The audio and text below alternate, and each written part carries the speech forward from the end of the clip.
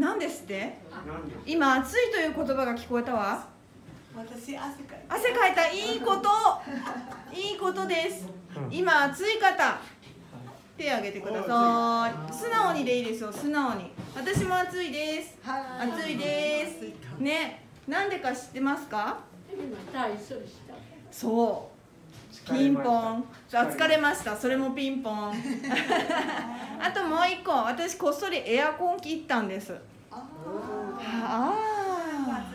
あ。だ。から暑いんだ。なんで皆さんに熱い思いをしていただいたかというとですねちょっとねこの後やるレクリエーションに関係してます。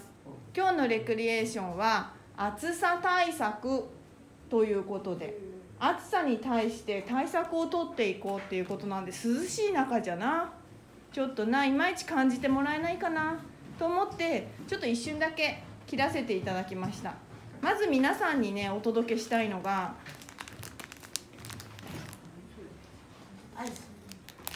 こちら。何か分かりますか？分かんないね見えないからね。あそうね。ごめんあみこさん。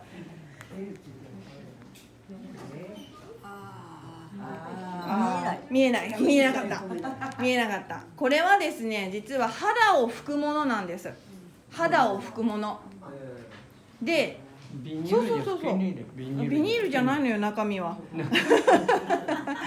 これねあのー、中はねちょっと湿った布なんですけど拭くとねマイナス4度の気持ちが味わえる。っていうものです。皆さんに今ねちょっと体験してもらおうと思いますので配りますね。ちょっとスーッとすると思います。そんなに大きくないかな。でもね大きい大きいのもあります。ちょっとね手とか拭いてみてくださいこうやって。うんそうそこまで気持ちいい。はい。拭いてみて。あ本当だ。気持ちいいでしょ。ほら。つむさんも。よいしょ。すごく気持ちいいからね。今行くよ。はい、マルさん騙されたと思って拭いてみて。溶け取ったよ。溶け取った。ガンガン拭いてみて。ほら、皆さんどうだい？どうしたんこれは。どうしたんこれは。か。顔拭いてもいいかな。多分ね、あの目の目の近くは拭かないでください。もうスースーしちゃうよ。目が痛くなっちゃう。あれしみる。こういうところはしみるしみる。しみる。そうそう。目の付近はダメアルコールかねこれ。目の付近はダメよ。あ気持ちがいい。そう首とかは平気こうね。どうですか？気持ちいいですね。これだけでも暑さが少し和らぎましたかね。はい。ああ、これの仕組みはですね。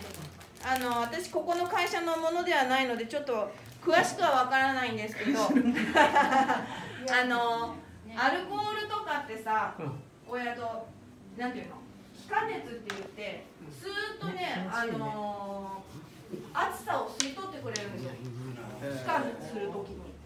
なのでね少しね自分の体の熱いのを取ってくれるんですけど。だいぶ涼しいですか？マイナス4度になった？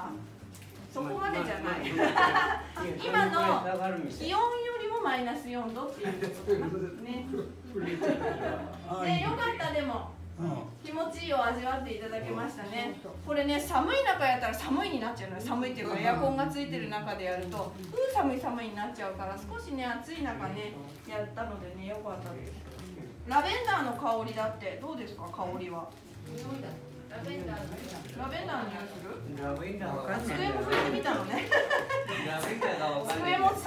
ね机も寒くなっちゃうわよ